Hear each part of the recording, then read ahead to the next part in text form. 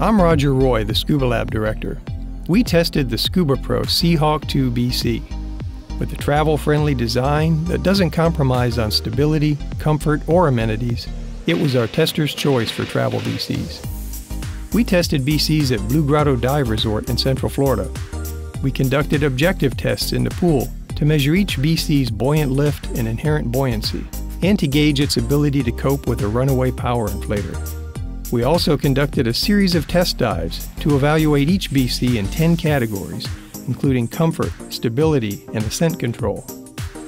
There's a little more to this makeover of the Seahawk than some of the other featherweight travel BCs in our test, including a pair of roomy zippered cargo pockets, eight stainless D rings, and a generous amount of padding.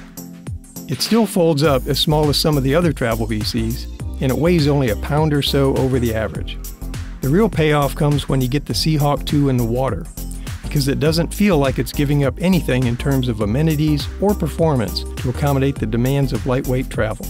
It took top scores for comfort and one of the highest scores for stability, with testers repeatedly using the words comfortable and stable to describe its performance. With more than 50 pounds of lift and integrated weights that hold 24 pounds in size large, as well as rear trim pockets, it can handle anything from tropical diving to dry suit duty.